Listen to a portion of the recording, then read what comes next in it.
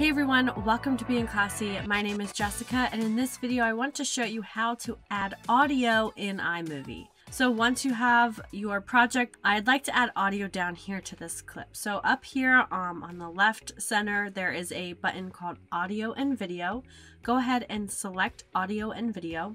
Now on the left hand side, you'll see three options, music, Apple TV, and sound effects. So music is any music that you have on your iTunes library will appear here. So you'd want to make sure to abide by any copyright issues if you're using um, popular music, but there's also some really great built-in sound effects. So there's also the Apple TV library that would appear here and also the sound effects. Now you'll notice here in sound effects there's a lot of different options. You can add whale sounds, bell transitions, knock on the door, depending on what kind of project you're working on.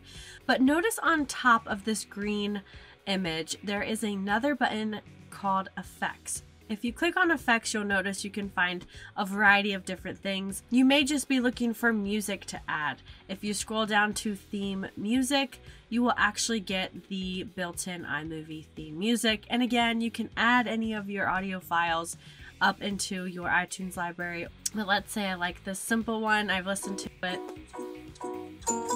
Sounds good. I'm just gonna go ahead and drag it down into my project and then I can work on editing it down there. I hope this video helped you learn how to add audio to your iMovie project.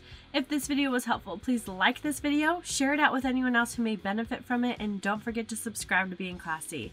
My name is Jessica, and I'll catch you in the next video.